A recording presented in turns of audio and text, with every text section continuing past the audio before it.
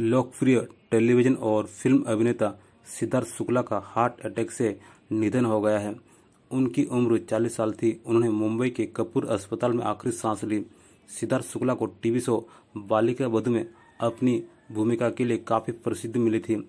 कपूर अस्पताल के एक अधिकारी ने उनके निधन की पुष्टि की है। बताया जा रहा है कि सिद्धार्थ शुक्ला को सुबह दिल का दौरा पड़ा था। पुलिस का कहना है कि सिद्धार्थ शुक्ला की पोस्टमार्टम रिपोर्ट का इंतज़ार है और उनके साथ रहने वाले लोगों के बयान लिए जाएँगे। मुंबई पुलिस की टीम कपूर अस्पताल पहुँच चुकी है।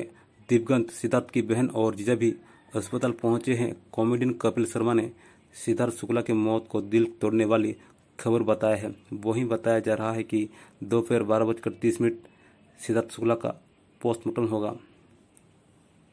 गैरतलब है कि सिद्धार्थ शुक्ला बिग बॉस तेरह के विजेता थे। वो अपने पीछे अपनी माँ और दो बहनों को छोड़कर गए हैं।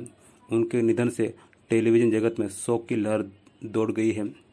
पीटीआई के मुताबिक उन्हें अस्पताल में मृत अवस्था में लाया गया था। उन्होंने एक मॉडल के रूप में अपने कैरियर की शुरुआत की थी। इसके बाद उन्हें टेलीविज़न शो बाबुल का आँगन छूटेना में मुख्य भूमिका मिली थी। बालिका बधु ने उन्हें घर घर प्रसिद्ध कर दिया था। सिद्धार्थ शुक्ला को साल 2005 में ग्लैडरक्स मैनहट में विश्व के सर्वश्रेष्ठ मॉडल पुरस्कार से नवाजा गया था।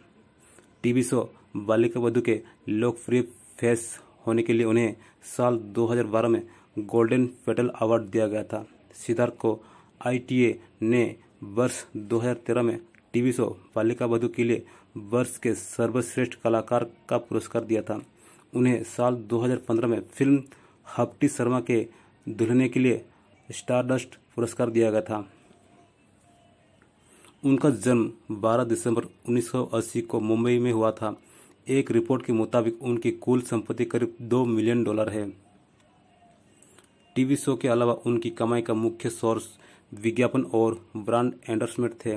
कुछ रिपोर्ट का कहना है कि वो एक बॉलीवुड फ़िल्म के लिए लगभग एक करोड़ रुपए लेते थे। बताया जाता है कि सिद्धार्थ टीवी शो के प्रति एपिसोड के लिए लगभग दो लाख रुपए चार्ज करते थे। उनके बारे में कहा जाता है कि उनको लग्जरी लाइफ जीने का शौक था। सिद्धार्थ की मौत पर फ़िल्म और टीवी जगत ने अपनी शोक संवेदनाएँ व्यक्त की है।